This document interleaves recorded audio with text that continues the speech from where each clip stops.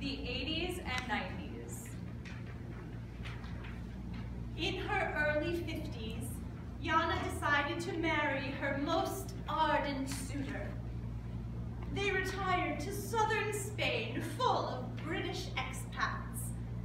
There, he divorced her, running off with a younger woman when she was 67. Dreadful. I don't believe this has happened to me. Men who pursued me were always in my thrall. In truth, his younger woman is still bitterly jealous of me. How bizarre. I had remarried and left the kibbutz. The 2000s.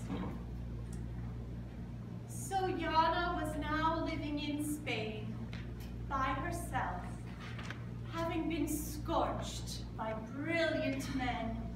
rich men, artists, writers.